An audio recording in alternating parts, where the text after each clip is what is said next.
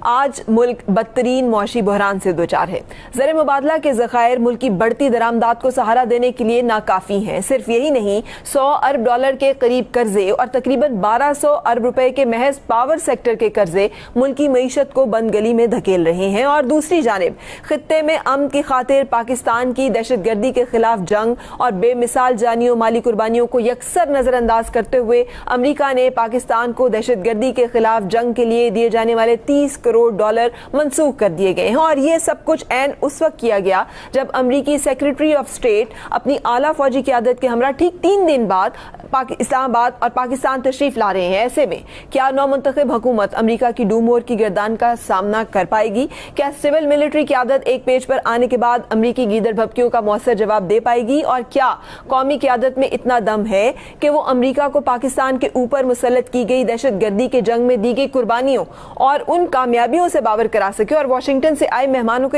سمجھا سکے کہ افغانستان میں ناکامی کا ملبہ پاکستان پر نہ گرایا جائے۔ پومپیو کال کا تنازع ہو یا فرانس کی صدر کے کال کا معاملہ ہو یا پھر وزیر اعظم یہ کہیں کہ وہ نہیں جائیں گے اقوام متحدہ میں، تو آپ اس خارجہ حکمت عملی کو کیسے دیکھتے ہیں؟ اصل میں اس میں عمران خان صاحب کا اتنا قصور نہیں ہے، یہ تو یہ ہے کہ سر مرٹتے ہی رولے اولے پڑے۔ بڑی ہی پاکستان کو کٹن صورتحال کا سامنا ہے اور اس کے ہاتھ میں کوئی ایسے پتے نہیں ہیں۔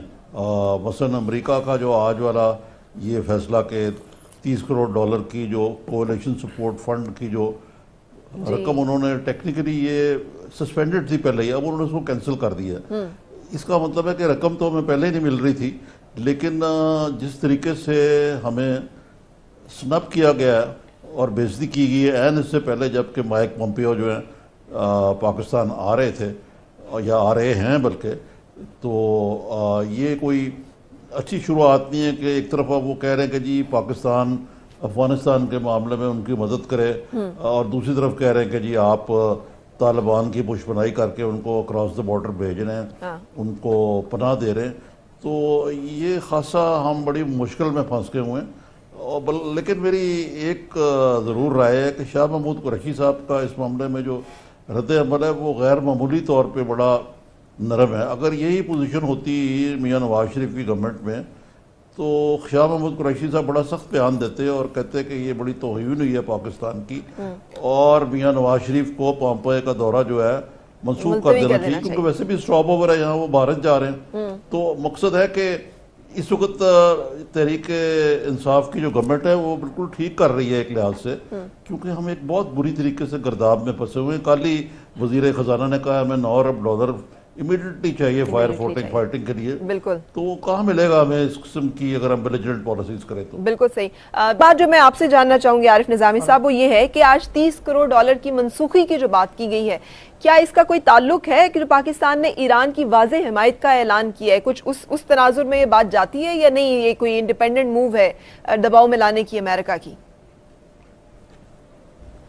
یہ میرا تو خیال یہی ہے جو آپ نے کہا کہ اس کا یقیناً کوئی نہ کوئی تعلق بنتا ہے اس کے ساتھ۔ ٹھیک ہے۔ کیونکہ اس وقت ٹرمپ جو ہے وہ پاگل ہوا ہوا ہے ایران کو نقو بنانے پہ اسرائیل کے ماں پہ۔